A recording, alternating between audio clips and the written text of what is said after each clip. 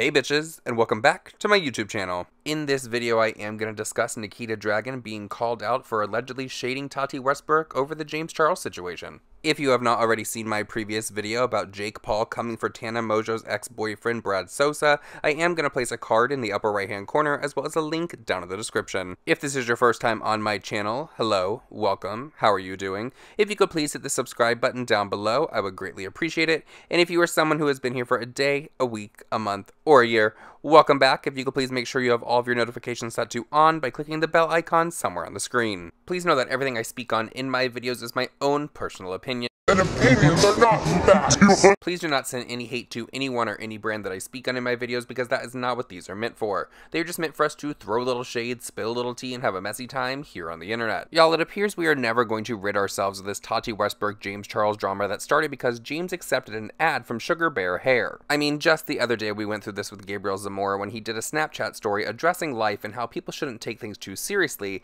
and towards the end of it he took a moment to throw a little bit of shade in Tati's direction. Here is what he had to say. I've been in this mentality space lately. It's like none of it is real in the grand scheme of it all. Like, is it real, Gabriel? Is it even real? You know, kind of like, do you ever find yourself like getting stressed over like something or a conversation or someone? Maybe someone cuts you off and you're just like stressed for like two hours, like, nah, mother, or like someone was rude to you or something like that. And then you think about it and you're like, Am I gonna remember this in five years? No. Am I gonna remember this in a year? Probably not. Am I gonna remember this in six months? No. Am I gonna remember this in a month? No, probably not, because I don't remember a lot that happened last week, like little things, right? Am I gonna remember this in like three days? No. Then girl, don't stress about it. Just move on. It doesn't even matter. I think it's healthy to be able to check in with yourself and be like, hey girl, how am I? Like, are you good? Like, are you happy? Are you stressed? Like, what's going on in life? Like, what do you want to do? Like, where are you going? Like, because if you don't, like, sometimes I catch myself kind of like stressing over things that I'm like, Gabriel, it's, don't even stress over it. Like, you're fine. Like, I live, I'm single, living in a very nice apartment in Hollywood, and I put makeup on, and my biggest stress is, dating. Like, you know what I mean? Like, there's people in Russia, there's people in other countries that unfortunately don't even have the option to be able to be openly gay and are still being murdered. In 2019, there's countries where women don't even have rights. Like, it's 2019 and shit is still really going down around the world. In the grand scheme of it all, like, you have to really check in with yourself and really think about, like, is this really, like, a thing? Because if not, you're gonna be sitting on the internet crying over vitamins when things are really going on around the world. But I'm not one to tell you how to feel, but you know, like vitamins. After Gabriel's Snapchat went live, I actually do have a full video on this, but a lot of people felt like he was diminishing Tati's feelings and basically telling her there is worse things going on in the world, so why are you even sitting on the internet crying over vitamins? I think what people fail to realize in this situation is that it's her livelihood. Tati owns a company that sells vitamins. She is friends with people who while she shouldn't expect something in return for them, it would just be nice to get a little validation from them. Like, oh my God, your product is amazing. I love your product. You know what? I'm not going to charge you to talk about this product. I'm just going to say something about it. So I don't understand the not getting how Tati could be upset that her friends aren't supporting her. Gabriel posted on his Twitter that he is going to be posting a very long video where he is going to keep it 100 again, and someone had this to say.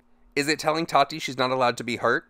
Because weren't you wanting sympathy when the internet was about to rip you up and toss you out? Gabriel then took a moment to shade Tati once more and responded to that person by saying, all over vitamins. The only reason Gabriel is being brought up in this video is because it looks like his friend Nikita Dragun has brought him right back into the drama. The other day, Nikita Dragun had a sponsored post by Sephora over on her Instagram, and Gabriel commented the following Yes, looking stunning.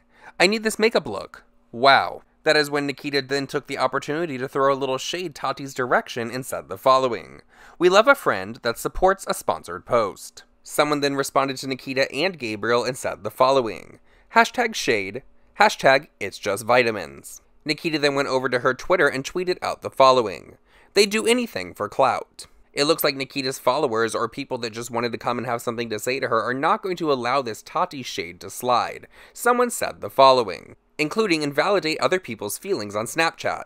because they know they're becoming stagnant again, so they have to say something controversial to spark a scandal that'll give them attention. Another person responded with the following Isn't that what you do? Shade Tati to get the drama channel's attention?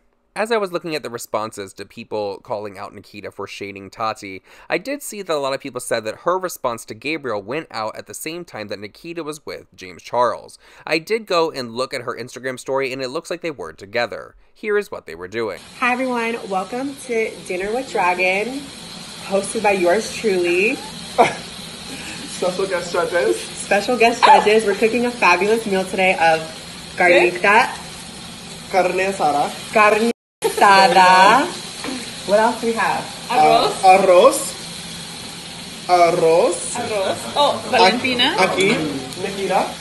Oh, Aquí, arroz. mira, mira as I bate, bate. Con aguacate. Oh. Oh, hay una spongy.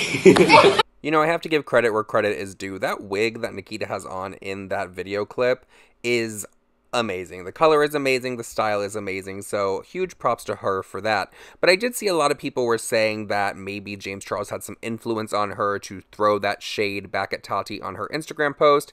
I don't know if I would believe that. I think that Nikita is just a shady person to begin with and gives zero Fs. So therefore, I think that she did it all on her own. What is your opinion though? Do you think that Nikita threw shade at Tati with her Instagram comment back to Gabriel Zamora? Do you think it's just something harmless? Or do you think James Charles had some kind of influence on this? Please let me know all of your thoughts and opinions down below. And now, let me give you a Jeffree Star update. It looks like Jeffree Star is going to be moving forward with a lawsuit against TJ Maxx after they allowed his stolen makeup to be sold in stores. He updated everyone over on his Snapchat as he was on his way to the Dollar Tree to, I'm assuming, film some video with some makeup. But here is what he had to say. Good morning, everybody. Hello, how are you? I'm feeling really good. It has been a very crazy month for me. I know you guys are like, Jeffree, you haven't been on social media that much. You haven't uploaded videos that much. Where have you been? Girl, everything.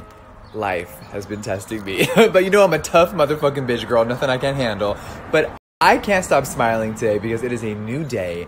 Everything is amazing. And you guys, I am a little nervous for today because I'm going to be filming at the Dollar Tree.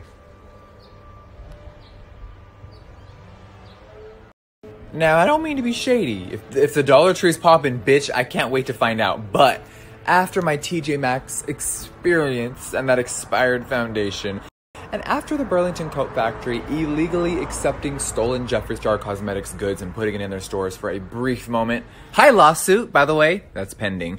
Um, I thought to myself, what other risky situations could I could I could I be in? I can go play in traffic. I could.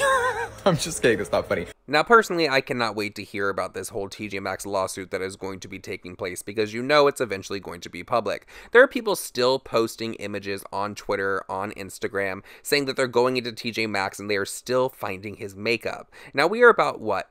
Like a month out from the original date that people started finding it and he started freaking out about TJ Maxx. So the fact that they have not been able to pull all of that makeup off the shelves is a little bit ridiculous. Another Jeffree Star update that I have is I told all of you before that I bought about 10 of the shades of the Jeffree Star concealer because I didn't know what my perfect match was going to be from shopping online. I'm one of those people. Unless I go into a store and actually get it, then I am going to have the most difficult time finding it ever. I can tell you guys that I did not care for it. And that's not me being a hater on Jeffree Star or anything of that nature. I could not find my perfect match. Now, I don't know if it's because I've been tanning because I'm going to LA soon. So therefore, girl needs to get a little sun. We're just coming off the winter months and I look like Casper's the only other two things that I can think to say about it are I do think that the star on top of the packaging is unnecessary. I think that he could have saved money with that and just had the pink lid. It is gorgeous packaging, but what I will tell you about the star is it's very sharp. You can cut yourself if you are not careful with it,